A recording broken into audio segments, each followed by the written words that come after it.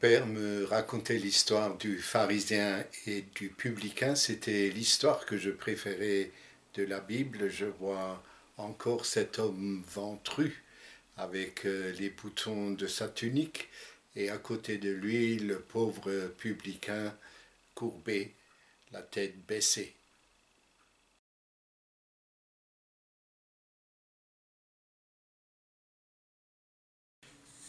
J'ai toujours aimé les livres depuis que j'étais petit. Quelques années plus tard, quand j'ai eu le plaisir de lire, j'ai eu entre les mains la Bible racontée par la comtesse de Ségur. Alors Joseph, David, Saül, Salomon, c'était des vrais héros pour moi, des histoires que je n'ai jamais oubliées dans mon enfance.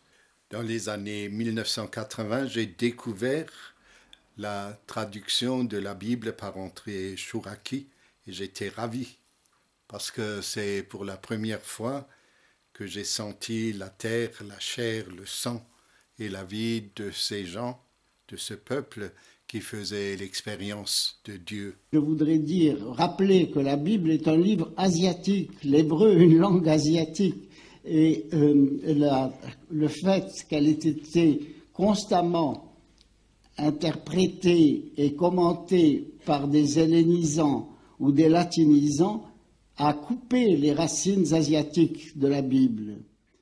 J'ai acheté les fascicules, je les ai fait relier et puis j'ai commencé à les illustrer.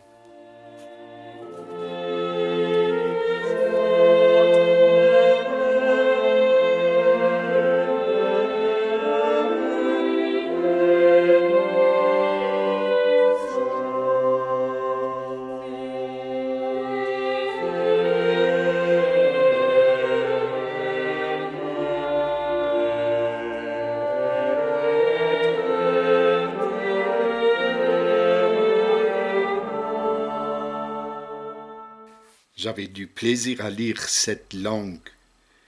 Par exemple, je dis Ah, Adonai Yahvé, voici, je ne sais pas parler. Oui, un jeune moi-même. Il me dit Ne dis pas un jeune moi-même. Oui, partout où je t'enverrai, tu iras. Tout ce que je t'ordonnerai, tu le parleras. Ne frémis pas de leur face. Oui, je suis avec toi pour te délivrer. Harang de Yahvé. Yahvé envoie sa main et touche ma bouche. Yahvé me dit, Voici, j'ai donné mes paroles en ta bouche. Vois, je te prépose en ce jour sur les nations, sur les royaumes, pour lâcher, perdre, démolir, bâtir et planter. Et c'est la parole de Yahvé me disant, Que vois-tu, Irméa? Je dis, un bâton d'amandier, moi je le vois. Yahvé me dit, Tu as bien vu, oui, j'amende ma parole pour la faire. Nous sommes en 2017 et je continue à illustrer cette Bible. Je n'ai pas encore achevé ce travail.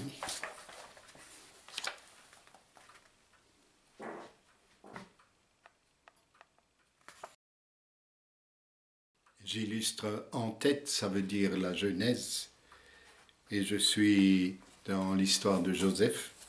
Des hommes passent, des Midianimes, des marchands. Ils saisissent et font monter Joseph du puits. Ils vendent Joseph aux Ismaélites pour vingt cycles d'argent. Ils amènent Joseph en Mitzraïm. Réhouven revient vers le puits. Et voici, Joseph n'est pas dans le puits. Il déchire ses vêtements, il revient vers ses frères, il dit, L'enfant n'est plus, et moi, où vais-je?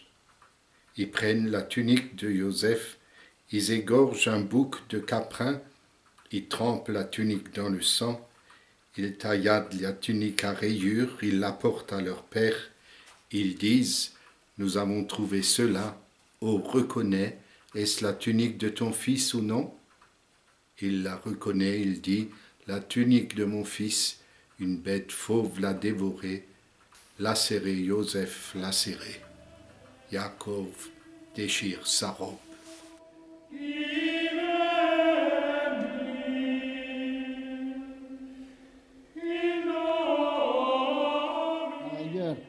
la Bible, il y a 200 mots sanscrits, en sanskrit, qui euh, attestent les relations profondes, spirituelles également, de l'univers biblique et de l'Asie.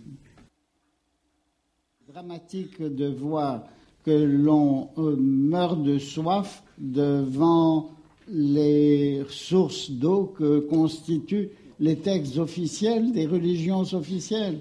Vous avez dans la Bible, dans le Nouveau Testament, et même dans le Coran, qui est si mal connu, et si mal connu d'abord par les musulmans eux-mêmes. Vous avez euh, toute la panoplie des vraies valeurs euh, enseignées par le judaïsme, par le christianisme, par l'islam, mais aussi par le bouddhisme, par l'extrême-orient.